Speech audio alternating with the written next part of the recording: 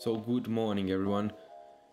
So you have just bought your new Power Meter and you want to know how to analyze um, your data to know you better, know um, to train smarter, and this is intervals.icu. I really suggest this application to um, analyze your cycling acti- activity. It's, uh, it's I think it's really well made and it's also free and uh, it's a, a community-based analyzer tool. And uh, as I said it's really well made. So you want to firstly want to set your power and heart rate um, FTP and threshold heart rate also but also max heart rate is going to define it's going to calculate your zones and this is really important to to each right here. You can connect your um, devices to all the activities. So we have landed on the main page. Uh, it is the activity calendar, and if we tap into an activity, you can see all the metrics. One thing maybe you don't know is coasting time. Coasting time is the time you have spent without pedaling, without um, pro- uh, with producing less than 10 watts, and you want to keep this value as low as possible because not training time is gonna make you also the uh, percentage of coasting time out of the total time here. So as, as I said before, you go, you want to make this as low as possible. So here's uh, the load that it is gonna calculate your load based on um, heart rate and power. Those are the value that you're mostly gonna look at. So First, we're gonna look at the average power. It's pretty easy to understand. It's just the average power you have um, you have done during your ride. And here above, you can see normalized watts. So, normalized watts uh, is taking count also of the fact that your power may not be um, steady. So, like, let's let's take an example. Um, if you um, maybe you for an hour ride you average 150 watts. You could be averaging the same watts by um, not pedaling for 30 minutes and therefore the other 30 minutes you do 300 watts. But as you may know it's not the same uh, regarding the intensity the effort on your body. This is counting also this this fact that your power may not be steady. Um, so when you look at uh, your watts, it's easier to look here, not this one, because it's much more valuable, you know. So here, what we can see is uh, variability. It is how much your heart rate has changed during your ride. For example, this was a zone 2 ride and I wanted to make to maintain my heart rate as steady as possible. So it is a pretty low value uh, and you want to do it as well and this is a good indicator of uh, when you do like endurance miles you want to keep it as close as possible to one. Here is the ratio of power divided by heart rate and this I think is one of the best indicator of your aerobic fitness and it's really useful. Um, it, is almost the same to um, uh, where is it? To this one efficiency.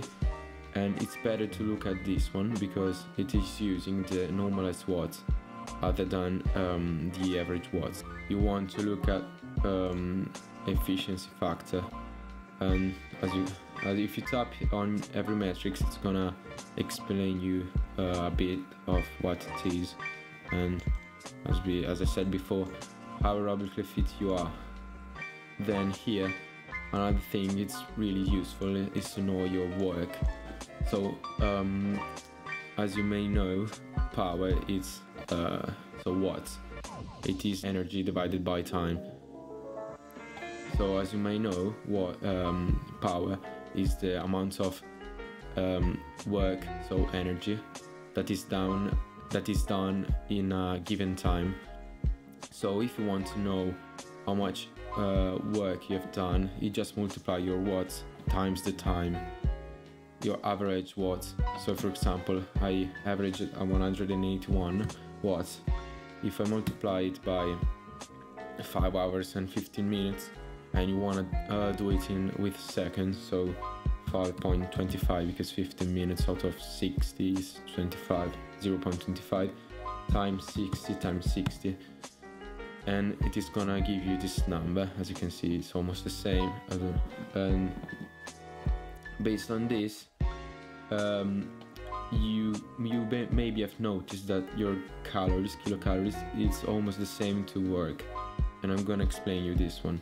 So um, work is just the mechanical energy that you're putting in in your um, in your training and it's not counting the fact of that uh, our body is not using 100% of um, the energy com- uh, converted from food to um, mechanical energy because because it's wasting um, a lot of energy also in heat and uh, friction. And uh, cycling cycling is uh, uh, like 23 24 percent efficient we can use for for ease uh, 25 25% that is just multiplying by 4 to know um, the total energy uh, usage. So we just multiply by 4 and um, it's gonna give us this number but um, calories is also um, the same metrics as work. So there's a um, conversion factor that is uh, 4.186 so we must divide it by this number. And as you can see uh, this um, this right here is almost cancelling out and um, and it's almost one. So it's just like doing this. And this is why it is almost the same number. So if you tap on activity power it is gonna show you show us it is gonna show us our intensity distribution of the ride. This is the maximum power output for any given um, time value. And I think this is the, the most interesting thing to look at. So this is the power divided by rate. One thing we can look at is power decoupling. So it is the amount of um, cardiac shift that you experience during a ride for example this one this one was a five hour ride so it is pretty high. And as you can see for a, for any given uh, minute it graphs uh, basically the uh, with doing dots um, what was your ratio. And then this this line is just the average of uh, those dots. As you can see it is decreasing over time. And the, mm, the difference uh, from the relative value to the absolute value. It is the percentage of uh, your power decoupling. And you want to keep this as low as possible. And on like two hour rides maybe just um, can be uh, zero uh, percent but when you go um, above three hour it's gonna uh, increase a bit. So mine was 5.5 percent. Here is the heart rate lag it is going to show you how much time um, it takes to your heart rate to reach your um, supply of oxygen. And uh, also this one you want to keep it uh, really low because it is it is a sign that your um, heart is really reactive to this, a stimulus. And uh, then this is the same graph here but it's basically the ratio plotted here. Here's the heart rate and then those are the watts. For example for 200 watts on the first um, half of the half of the ride I was averaging 144 uh, beats per minute. In the second half of the ride I was um, at 150 beats per minute. So it, it was a 6 bit difference. And uh, one thing that I didn't said before is you can ex exclude like the warm up here of from this calculation because maybe it's gonna screw up your um, your values as well as the cooldown but for example those two dots I'm not gonna count them. And that's basically just the basics that uh, you may want to know to analyze um, an activity and this is not really useful i mean it's almost the same. It's it's for i mean for endurance ride you want to look more at uh, your um, heart rate rather than power because it it is much more representative for, of your effort for those zones. But when you're um, doing threshold you you just can you can ignore um, the heart rate analysis. uh, Uh, it's much more useful to use the power.